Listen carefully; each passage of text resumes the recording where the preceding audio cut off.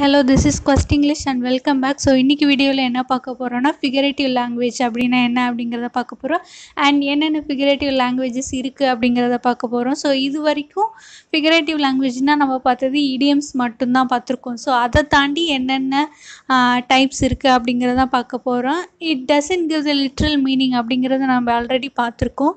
ஒரு வேர்டு இருக்குன்னா அதோட வேர்டுக்கான மீனிங் இல்லாமல் அதோட ஹிடன் மீனிங் என்ன அந்த வே வி எக்ஸ்பிரஸ் அப்படிங்கிறதெல்லாம் வச்சு தான் ஒரு ஃபிகரேட்டிவ் லாங்குவேஜ் அமையுது அப்படின்னு சொல்லியிருந்தோம் இல்லையா? ஸோ அந்த வகையில் இன்னும் என்னென்ன டைப்ஸ் இருக்குது அப்படிங்கிறத பார்க்க போகிறோம் இது வந்து இன்னொரு பேர் எப்படி சொல்லுவாங்கன்னா ஃபிகர்ஸ் ஆஃப் ஸ்பீச் அப்படின்னு சொல்லுவாங்க. பார்ட்ஸ் ஆஃப் ஸ்பீச் நம்ம கேள்விப்பட்டிருப்போம். இது ஃபிகர் ஆஃப் ஸ்பீச் அப்படின்றது சொல்லுவாங்க.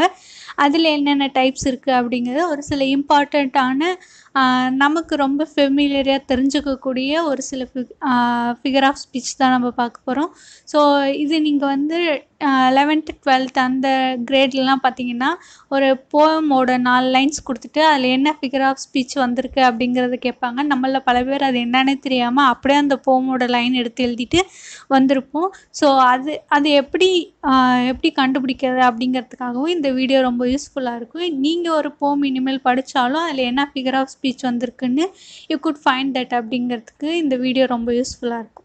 ஸோ அந்த வகையில் இன்றைக்கி நம்ம ஃபஸ்ட் பார்க்க போகிற ஒரு ஃபிகரேட்டிவ் லாங்குவேஜ் ஆர் ஒரு ஃபிகர் ஆஃப் ஸ்பீச் என்ன அப்படின்னா சிமிலி நான் ஆல்ரெடி சொல்லியிருக்கேன் சிமிலினா என்னென்னு. ஆஸும் லைக்கும் வந்துச்சுன்னா அதுக்கு நம்ம சிமிலி அப்படின்னு எழுது அப்படின்ற நம்ம ஸ்கூல் டேஸில் சொல்லி கொடுத்துருப்பாங்க இல்லையா? ஸோ சிமிலினா என்னென்னா a comparison of two things by using the words like or as அப்படிங்கிறது. ஆஸும் லைக்கும் யூஸ் பண்ணி ரெண்டு திங்ஸை நீங்கள் கம்பேர் பண்ணிங்கன்னா தட் இஸ் கால்டு சிமிலி அப்படிங்கிறது.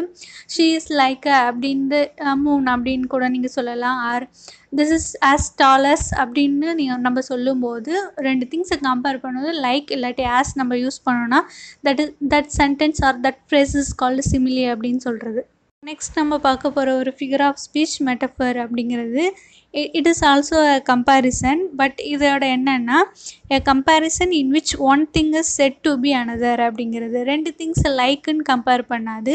அது மாதிரி இருக்குது அப்படிங்கிறத கம்பேர் பண்ணக்கூடியது தான் மெட்டஃபர் அப்படிங்கிறது. சிமிலியில் எப்படி ஆஸும் லைக்கும் வருதோ ஸோ மெட்டஃபரில் என்னென்ன வரும்னா ஈஸ் ஆர் வாஸ் வேர் இந்த மாதிரி வேர்ட்ஸ் எல்லாம் பயன்படுத்தி வரக்கூடியதாக மெட்டஃபர் அப்படிங்கிறது. ஸோ அந்த எக்ஸாம்பிள் பார்த்தீங்கனாலே உங்களுக்கு தெரியும். She is a walking dictionary அப்படிங்கிறது. பிகாஸ் அவங்களுக்கு டிக்ஷனரி மாதிரி she can tell any thing அப்படிங்கிறது.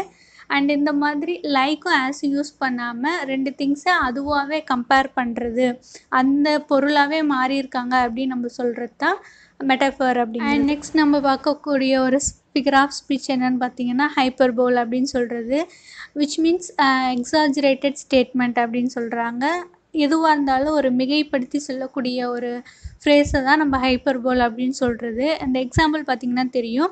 அந்த பேக் வந்து டன் கணக்கில் வெயிட்டாக இருக்குது அப்படின்னு. டன் கணக்கில் ஆஃப்கோர்ஸ் நம்மளால் யாரையும் வெயிட் பண்ண முடியாது. அப்படி சொல்கிறாங்க தட் மீன்ஸ் ரொம்ப வெயிட்டாக இருக்குது அப்படிங்கிறது. இப்போ சாரி சொன்னால் ஒரு சிலவங்களாம் thousand times sorry the same ஒரே வேர்டு தான். அது தௌசண்ட் சேர்த்துக்கிட்டா ரொம்ப எக்ஸாஜரேட் பண்ணி சொல்கிறது அந்த மாதிரி ஒரு சில விஷயத்த ரொம்ப மிகைப்படுத்தி சொல்லக்கூடியது தான் ஹைப்பர் போல் அப்படின்னு சொல்கிறது அண்ட் த நெக்ஸ்ட் ஒரு ஃபிகர் ஆஃப் ஸ்பீச் என்னன்னு பார்த்தீங்கன்னா இடியம் இடியம் ஆஃப்கோர்ஸ் நம்ம எல்லாத்துக்கும் தெரியும். And expression that doesn't exactly mean what the words say words என்ன சொல்லுதோ அது மட்டுமே எக்ஸ்ப்ரெஸ் பண்ணாது. It has a hidden meaning அப்படிங்கிறது நம்ம நிறைய வீடியோஸில் ஆல்ரெடி பார்த்துருக்கோம். ஸோ இடியம்னா லிட்ரல் மீனிங் இல்லாமல் அதோட ஹிடன் மீனிங்கும் என்ன சொல்ல வருது அப்படின்னு தெரிஞ்சுக்கக்கூடியது தான் ஒரு இடியம் அப்படி so next figure of speech வந்து பர்சானிஃபிகேஷன் அப்படின்னு சொல்கிறது which means giving human qualities to animals or object அப்படிங்கிறது.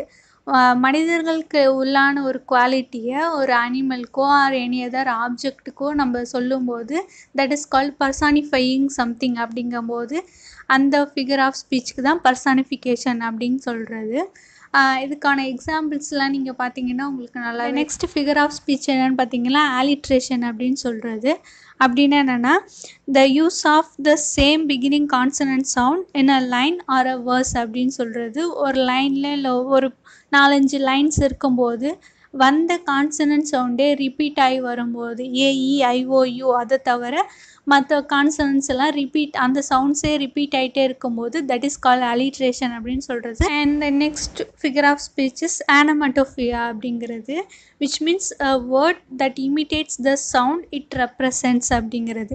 ஒரு வேர்ட் இருக்குன்னா அந்த சவுண்டையே அப்படியே ரெப்ரசன்ட் பண்ணுறது அந்த டிக்டாக் அப்படின்னு சொல்லும்போது அந்த கிளாக்குக்கு வரும் இல்லையா? அந்த மாதிரி அந்த சவுண்டையே வேர்டாக ரெப்ரசன்ட் பண்ணக்கூடியது தான் ஆனமட்டோஃபியா அப்படின்னு சொல்கிறது அந்த பஸ் அந்த சின்ன ர நர்சரி ரைம் ஒன்று இருக்கும். அந்த வீல்ஸ் அந்த பஸ் கோஸ் அப்படின்ற மாதிரி அந்த ஒரு நர்சரி ரைம் இருக்கும்.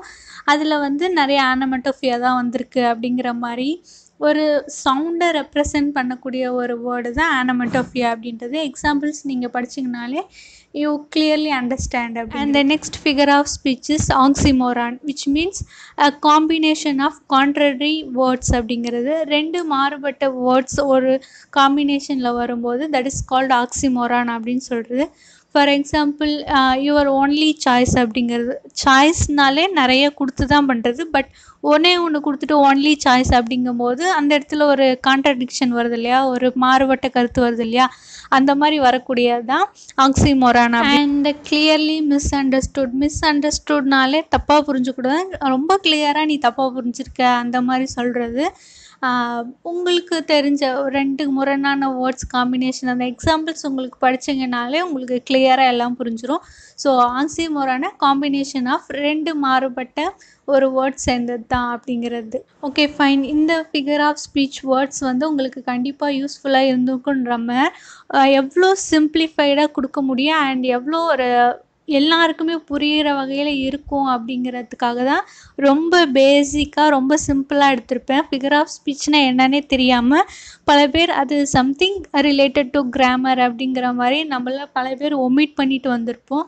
இந்த மாதிரி லாங்குவேஜில் ஒரு சில பார்ட்ஸ் நீங்கள் கற்றுக்கிட்டிங்கன்னா it will be more interesting அப்படிங்கிறது. இப்போ ஒரு புக் நீங்கள் படிக்கிறீங்க அது ஏதோ ஒரு போயம் நீங்கள் படிக்கிறீங்கன்னா நீங்கள் அது படிக்கும்போது இந்த மாதிரி வேர்ட்ஸ்லாம் நீங்கள் ஃபைண்ட் அவுட் பண்ணும்போது it will be more interesting for you ரொம்ப ஈகராக கற்றுக்கிறதுக்கான ஒரு சான்சஸும் இருக்குது அப்படிங்கிறதுக்காக தான் ரொம்ப பேசிக்லேருந்து ஒரு ஃபிகர் ஆஃப் ஸ்பீச் உங்களுக்கு கொடுத்துருக்கேன். ரொம்ப கன்ஃபியூஸ்டு இல்லாமல் பெரிய பெரிய எக்ஸாம்பிள்ஸ்லாம் கொடுக்காம பேசிக் எக்ஸ்ப்ளனேஷன் அண்ட் எக்ஸாம்பிள்ஸ் கொடுத்து இதை வந்து எக்ஸ்பிளைன் பண்ணியிருக்கேன். I hope it will be very useful and interesting அப்படி இருந்துச்சுன்னா share with your friends and family மறக்காமல் சப்ஸ்கிரைப் பண்ணிங்கன்னா தேங்க்யூ